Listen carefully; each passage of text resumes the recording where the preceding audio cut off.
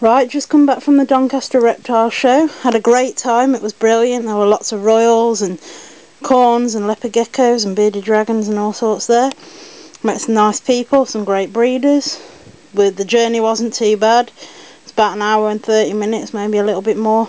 We did stop to go to the toilet and have some drinks and things at a service station, so...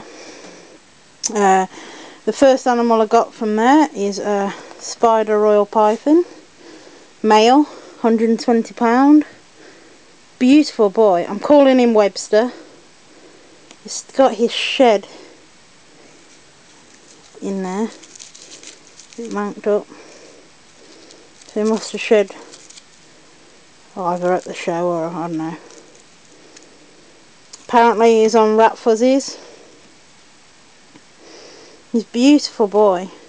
I held him at the show and he was quite friendly, got good, very healthy. Let's just try and pick him up now.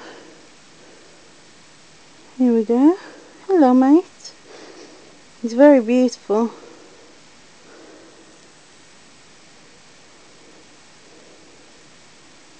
And gorgeous. So we hope everyone that went had a great time, as good a time as I did.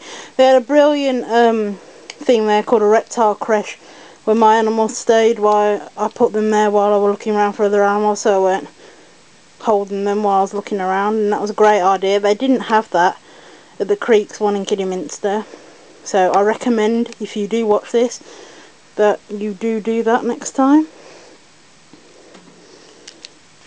It's a very good idea.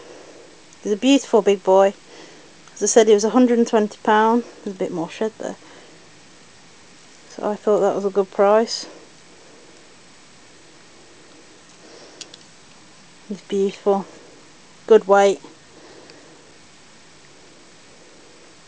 And I got um, two leopard geckos and another royal, which I'll show you in a bit. So as I said, I hope everyone had a nice time. Please rate, comment and subscribe to my YouTube. And like and comment on Facebook. Share my videos. Good night everyone.